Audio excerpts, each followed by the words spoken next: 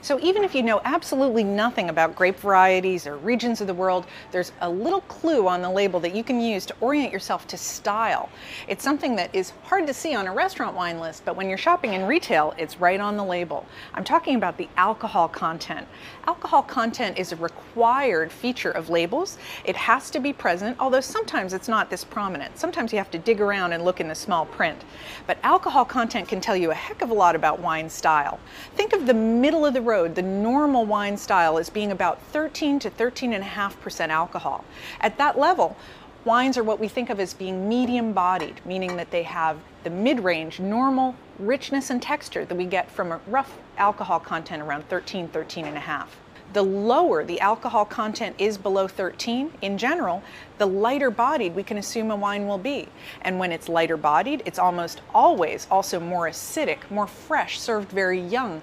Think about the tartness of Granny Smith apples. That's something that we associate with light bodied styles of wine. They're almost always white or pink, and sometimes even sparkling styles, but they tend to be refreshing, brisk, and perfect for uncooked foods like salads, ceviches, and so on.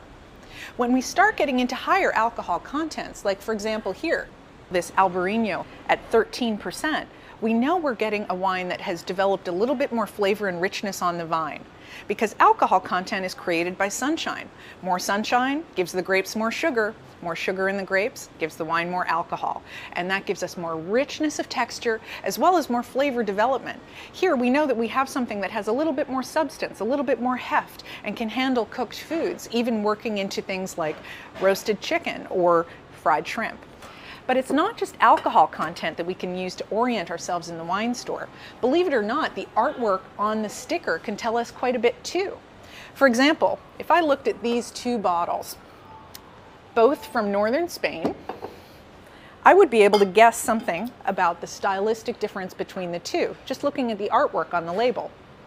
The one here on the left, the Vega Sindoa, looks much more modern. It's got colorful artwork, high design. The one on the right is very classic, an old school label that shares a lot of features with the way this wine probably looked 50 years ago. So I can guess that the one on the left here is going to be a more modern fruit forward style, something designed to appeal to a California palate, to have a little more in common with those New World styles. Whereas the one on the right is more a classic, traditionally made wine, one that is designed to taste at its best with food at the table and might seem a little too sharp, a little too dry, maybe even a little too acidic and earthy when you taste it by itself.